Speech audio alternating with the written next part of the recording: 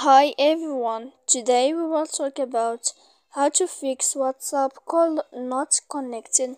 To know how to fix WhatsApp call not connecting, you should just go to settings like this, we will click.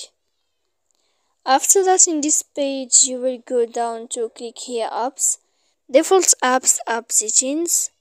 When you will see this list, you will go down to find the application of and uh, uh, sorry of whatsapp here. And then in this page you will click first stop. When you will end this you will enter to storage. After that in this page you will click clear cache and then you will click clear data. And after all that you can update your application. So please don't forget to support us by like and subscribe. See you next time.